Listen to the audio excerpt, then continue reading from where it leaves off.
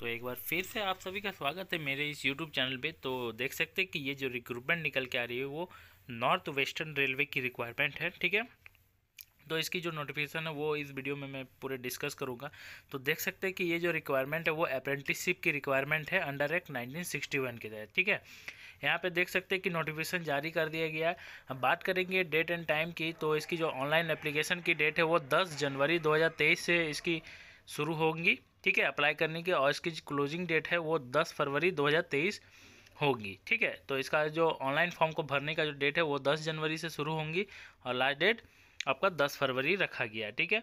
आगे हम लोग देखेंगे कि इसमें देख सकते हैं कि इसकी जो मोड ऑफ़ सिलेक्शन है वो मेरिट बेसिस पे होंगी जो भी बच्चे टेन प्लस आईटीआई किए हुए होंगे, वो इस फॉर्म को आसानी से भर सकते हैं, बिल्कुल एलिजिबल है उनके लिए, ठीक है?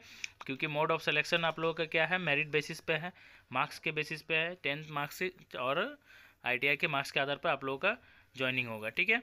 सिलेक्शन होगा। यहाँ पे देख सकते हैं कि डिविजन्स एंड यूनिट्स दिए हुए हैं। जैसे डिविजन्स रेलवे मैनेजर अजमेर के लिए है, बीकानेर के लिए जयपुर, जोधपुर, सभी अजमेर, बीकानेर और जोधपुर के लिए हैं, इस रिक्रूटमेंट को निकाला गया ठीक है? यहाँ पे देख सकते हैं कि टोटल दिए हुए हैं, देख सकते हैं कि आईटीआई पास जो भी बच्चे हैं, वो भर सकते हैं। यहाँ पे देख सकते हैं कि अलग अलग ट्रेड्स दिए हुए हैं। तो अजमेर के लिए देख सकते हैं कि electrician electrical fitter carpenter painter mason सभी प्रकार के ट्रेड्स दिए हुए हैं। डीजल मैकेनिक भी ट्रेड दिया हुआ है। टोटल इसमें देख सकते हैं कि चार सौ तेरह सीट है, जिसको अलग अलग कैटेगरीज वाइज बांट दिया गया जैसे अनरिजर्व ओबीसी एससी एसटी इस सब में बांटा गया ठीक है? बीकानेर के लिए टोटल चार सौ तेईस सीटें रखा गया, जिसको अलग अलग ट्रेड में बांटा गया है, ठीक है? जयपुर के लिए देख सकते हैं चार सीट है, जो जिसको अलग अलग ट्रेड्स वाइज बांट दिया गया है, ठीक है? तो जोधपुर के लिए, अजमेर के लिए और बीकानेर के लिए ये वैकेंसी है। स्पेशली, ठीक है? यहाँ पे बात करेंगे एलिजिबिलिटी कंडीशंस की तो इसकी जो एज लिमिट है वो पंद्रह से चौबीस साल रखा गया है, ठीक है? जो भी बच्चे इस दरमियान होंगे वो अप्लाई कर सकते हैं।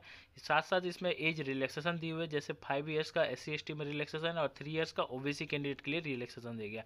अब बात करें डिजेबिलिटी पी कैंडिडेट के लिए उनको दस ईयर का एज रिलैक्सेशन दिया गया, ठीक है? छूट दिया गया, विशेष छूट है उनके लिए। यहाँ पे एक सर्विसमैन के लिए भी छूट दिया गया है।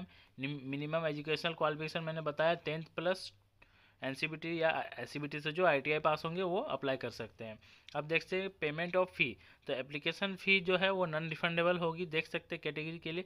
तो सौ रुपये की आपका फ़ी रखा गया, और S C S T P W B D candidate के लिए किसी भी प्रकार की फ़ी नहीं रखी गई तो ये थी नॉर्थ रेलवे की अप्रेंटिसशिप की रिक्वायरमेंट, ठीक है? नौ तो इसी तरह के जॉब्स के अपडेट को पाने के लिए आप हमारे चैनल के साथ बने रहें और जिन्होंने हमारे चैनल को सब्सक्राइब नहीं किया, वो हमारे चैनल को सब्सक्राइब कर दें ताकि इसी तरह के नोटिफिकेशन मैं आप तक पहुँचाता रहूँ। ठीक है, मिलते हैं हम लोग नेक्स्ट वीडियो में नेक्स्ट जॉब वैकेंसी के साथ। Thank you